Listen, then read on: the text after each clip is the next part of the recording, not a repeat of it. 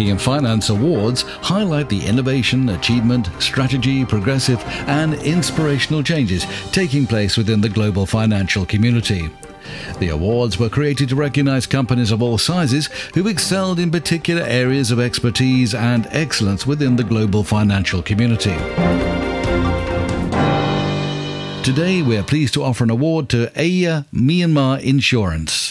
Since inception in 2013, Aya Myanmar Insurance has been a leading insurance company in Myanmar for both life and general insurance. We are committed to helping individuals and families in Myanmar to live in healthier and happier lives, protecting from the uncertainties of tomorrow. We aim to be recognized as your partner for life by playing a leadership role in driving social and economic development of Myanmar. As our slogan states, Partner for Life, Aya Myanmar Insurance aims to ensure the country's key lifelines by providing professional and reliable service to our valued customers. We reaffirm our support to the 10 principles of the United Nations Global Compact. We have been working consistently to raise the governance standards to become a role model for the rest of the industry. In working towards our goal to be a leading insurer in the country, we adhere to and embed the UNGC principles into our practices, policies, and operations. We have expanded our network to more than 50 branches across Myanmar. We have also received accolades over the years due to our hard work and commitment in the industry. Our strategic partnership with Sompo Japan Nipponkoa Incorporation has also enabled us to strengthen our operational capabilities. At Aya Myanmar Insurance, we believe people are our greatest assets and ensure everyone has the opportunity to succeed. Partner for life. We're proud to offer Aya Myanmar Insurance an award for Best Private Insurance Company Myanmar 2019. Recently, we welcomed Managing Director Myo Min Thu to our London studios to receive the award and tell us more about the company's progress. Well, welcome to London. Lovely to see you again. This is not our first meeting, I know. Uh, so, congratulations once again on another award from Global Banking and Finance. Thanks, Phil. I mean, we're very excited to be here, and of course, again in, in London. So, uh, something that uh, would actually make our staff proud of. I'm sure, and I'm sure they've all been part of the team effort. Uh, we'll talk a little bit about Aya Myanmar in just a moment. I'd like to ask you, first of all, though, about the, the insurance industry in general in your country. How is that developing? Well, um, since the liberalization of the market in 2013 for the private insurance companies, we've really grown exponentially over the past six years. So this year, there's something very, very special happening in the market. So we are looking at five insurance, foreign insurance companies coming into the market as 100% owned. So uh, we will be seeing a lot of competition in the life space. Um, and, and for the general insurance space, we have got joint ventures coming in. So the government is doing all they can to actually ensure that we have more foreign direct investments through the financial sectors. So basically, looking at insurance um, in, in Myanmar because uh, we were actually in the um, very nascent stage of the development. Um, general insurance penetration was about 0.1% across our GDP and life insurance is so much lower at 0.01%. So we'll see a lot of development once the liberalization takes place in the, in the end of the year. Well, as you mentioned, there are obviously more and more competition. So the next question I suppose I have to ask you is, what differentiates your organisation, Aya Myanmar, uh, from, from others? Well, um, we're, we're, going to be competing with the bigger boys. So uh, there are a lot of foundations set in terms of getting our strategy right. I think um, there are a few uh, areas that we are looking at. One is, of course, developing our human capacity because we've got a huge lack of human capacity in the, in, in the country. So we need to actually groom more expertise in, in into the market. Uh, so making sure that our internal customers, which are the employees of the company, uh, as in Aya Myanmar Insurance, is well versed in terms of insurance knowledge and stuff. That is the first thing. And second thing we are looking at is, of course, creating awareness across the, the general public in Myanmar uh, because there's a huge lack of uh, interest and awareness on insurance itself. Um, not many people believe in insurance in the first place, so that is the reason why the penetration is very, very low. And we are looking at ways to actually make sure that uh, the, the, the, public is aware of how insurance works and what benefits them in the longer and the, the short, shorter term.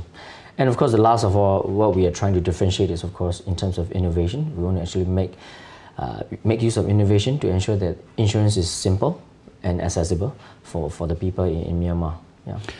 You mentioned there about not many people are convinced initially about insurance. So, how do you go about convincing them that it's a good thing to have? Well, Phil, it's always very difficult. You see, you're selling a piece of paper and, and making a promise. So, in, in an emerging country like Myanmar, it is still very difficult, and also because of religious uh, belief, where you know not all bad things should happen, uh, but bad things happen. So we try to ed educate them, and of course, create awareness through uh, different examples. Uh, um, I mean, it is easy to actually create awareness in terms of general insurance uh, on on the public, but for life, it is still very much of uh, a difficulty because um, not many people believe in bad things happening to them. So, so it's always a difficult. So there's an element of superstition sometimes. Yes, of course. Traditional uh, superstition. Yeah. That, that's interesting. I, I, I, also wanted to ask you about some of the more modern and, and high tech operations that you provide. You were one of the first companies to actually provide a digital platform. Tell us how that works and how successful that has been. Well, uh, the the digital uh, journey has uh, started somewhere around 2017.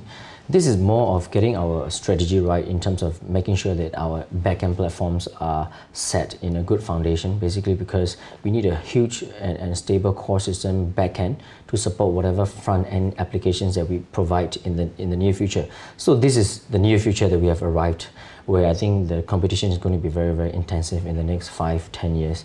So we have got a good core system backend. We are the first insurance company to actually develop and embark on a digital platform backend. And right now we are looking at more um, like in line with our strategy of making sure that insurance is simple and accessible. So we are coming out with mobile applications, we are coming out with new channels through selling through banks. So we have a lot of sales applications coming up for our, our sales agents. We are looking at portals for, for customers where they are able to access their policies online. So making sure that this is easy, it is actually not an easy thing. Yes, it's not easy for you, but presumably the idea is to make it as easy as possible for yeah. the client. Yes. And let's expand on that. How do you actually go about making sure your clients actually get the best possible service and make the best possible use of you, your work? Well, I think one of the reasons when we actually did some studies, one of the reasons why people are not interested in insurance is that it is not simple as it is, and it is not easily accessible. So we have to go to insurance offices, branches to just physically buy insurance products, which might be uh, cheap. So uh, we're trying to actually make it accessible for them. Uh, one of the reasons why we have actually embarked on this digital platform is that we are actually trying to expand it through our sister company, AYA Bank. So we've got a bank within our group where a lot of policyholders uh, are able to actually just walk into the bank, bank branches, which has got bigger network than us.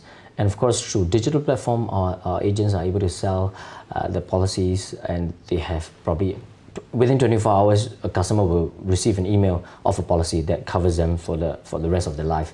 So a lot of easy underwriting, a lot of accessibility actually gives them um, the, the, the awareness, the interest on insurance itself. Now, uh, looking at uh, the development of the industry, as you were talking about earlier on, what would you say were the challenges and indeed opportunities now as, as, as the industry expands bit by bit?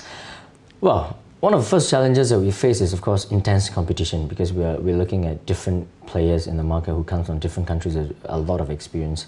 Um, so one, one of the things is actually to differentiate ourselves from, from foreign players. Uh, and although it is it is not a difficult task because the foreign insurance players will have to also get a no, local know-how knowledge and the brand itself we are more established in our own markets but having said that uh, the, comp- the competition in terms of innovation the technology the know-how expertise these are where they have more advantage in so as a local company we'll have to actually build our own resources um, actually try to actually have more um, innovative ways of competing them and the second uh, challenge that we are we're looking at is, of course, uh, regulation. I think uh, regulation has to evolve over time because we've always been in a very closed and, and isolated uh, economy away from others.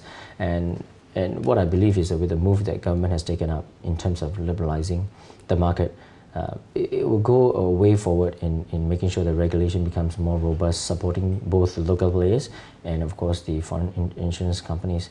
The third is, of course, on um, the, uh, the point that I've mentioned on, on creating awareness among the locals.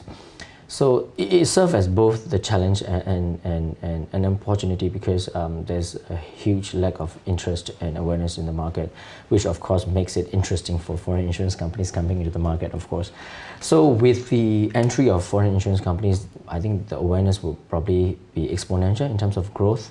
So a lot of people will be interested and the whole probably country and city will blast it with banners, posters, billboards. So this will eventually create awareness, which is good for everyone in the market. And uh, going on along those lines, of course, obviously the, the country is developing uh, now rapidly after a, a, lot of change. How do you as an organisation give social and economic support to the nation? Well, as AYA Myanmar Insurance, we as an organisation, as, um, as a group, we have always been very much uh, active in social development because we, are, we have been active. We have, we have participated in different kind of um, social uh, beneficial uh, activities. So more on CSR activities that actually looks at flood victims. You say um, we have a lot of CSR activities in safety uh, campaigns and stuff. So in terms of, in a nutshell, if you're looking at the economic development, uh, we want to actually create jobs want to actually uh, nurture jobs for, for the young uh, workforce in, in Myanmar, which in turn will be able to actually uh, turn them into future leaders of the country. And of course, with the creation of jobs, that will be creating a huge domino effect into the economy, increasing disposable income and so on and so forth. So that is where we are looking at more of economic development. At the same time, I think we are providing a good safety net for, for, for the general mass public. So we'll be able to actually bear the cost of losses to a certain extent that would you know, in other countries where there are major losses and if the insurance coverage is not adequate and that's where the government funding comes in. So we as a player in, in the market as an insurance provider we want to actually bear the burden of cost in terms of any catastrophic loss or disasters. So that is in a way of helping the economy uh, in, in a way. And in terms of social economic uh, so the social development uh, we are in a way providing safety nets. Of course, we are actually driving the country out of poverty as well. We've got a, a, about 28% of poverty, poverty in, in, the, in the country. So with insurance, I think that we need to actually educate people that this is where uh, this is a good thing for them to actually get out of poverty, not to actually spend their lives uh, uh, spending all their savings in, in such bad instances. Yeah, this is where we are coming from. And because of the work that you're doing in that direction, obviously you continue to expand and grow. What are your plans for the future going forward? Well, I think uh, we've, we've made the right uh, direction, uh, strategy in terms of investing in technology last two years ago. So we've got our core system up and right now what we are looking at is of course enhancing our capabilities into the front line where we are actually translating whatever we have in digitally backend to have mobile applications, sales portals and of course expansion through the branches of the bank to be able to have simple and accessible insurance products for our customers. So there are a few initiatives that has happened over the past 12 months. One of the things is expansion of our branches across different states and divisions in Myanmar. So we expand, uh, we were planning to expand about five to six branches yearly for the next five years. So you're basically covering all states and division by end of year four or five. Second is where we are looking at leveraging our banks, our sister company banks, to actually leverage uh, their branches, the customer network to actually promote insurance in the communities that the banks are present in. The third is, of course, uh, again, using technology to actually ensure that we reach out to customers more easily. Uh, things like smaller ticket size insurance products should be actually bought through online banking, our mobile applications and stuff. So this is going to be happening for the next two to three years time and it is very exciting. It does seem like it because obviously it's all part of a, growth industry, isn't it? So of course that means all the time you're, you're, expanding. I wish you every success with that. Thank you so much for coming to London and congratulations on the award. Thank yeah. you very much again. Lovely to Thank see you. you.